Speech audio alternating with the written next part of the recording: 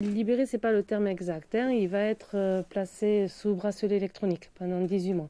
Et à l'issue de cette période-là, il va bénéficier d'une libération conditionnelle avec des obligations pendant 8 ans. Hein. Donc c'est pas une libération. C'est effectivement donc une décision que nous attendions depuis longtemps. C'est la troisième fois que nous sollicitions donc la libération conditionnelle. Et euh, l'année dernière, donc, nous avions eu une décision de, refus de la Cour d'appel euh, qui nous laissait pas espérer en fait euh, de libération. Donc obligatoirement, la décision d'aujourd'hui nous réjouit.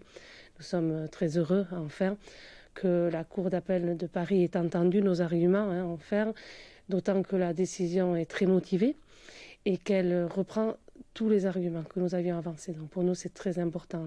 Au-delà de la décision elle-même, ce qui est très important, mais c'est que tous nos arguments aient été entendus.